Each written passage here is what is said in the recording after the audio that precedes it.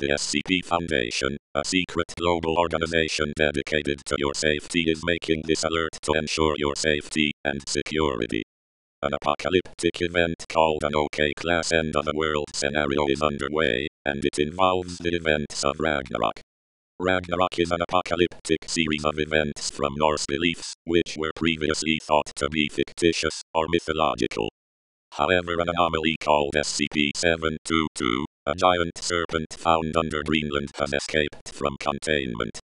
Furthermore, extreme snowfall has begun globally, and these simultaneous events indicate that Ragnarok may be imminent. Furthermore, several humanoids composed of lava and rock have emerged from the Earth at various locations. These may be fire giants. The SCP Foundation is working to contain these fire giants in conjunction with another group, the Global Occult Coalition. If you encounter any of these fire giants, you should flee as quickly as possible. Do not attempt to fight.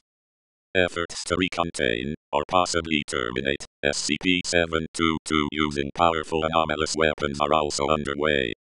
If you live in a coastal region, evacuate now to avoid the waves, which are being created by SCP-722's rapid motion.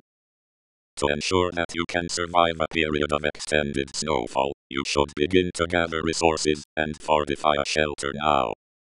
There are other anomalous events, which are predicted to occur over the course of the coming days, weeks, or months. This could include the disappearance of the sun and moon from the sky, consumed by giant extraplanetary wolves. It could also include an extra-universal invasion of various forces, including giants, and possibly an army of the dead. The global population could also be anomalously compelled towards violence, and particularly fratricide.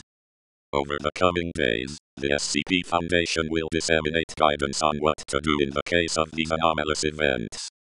Until such a time, you should do what you can to gather resources, such as food and fuel, and remain in shelter. Thank you for your attention and cooperation. Secure. Contain. Protect.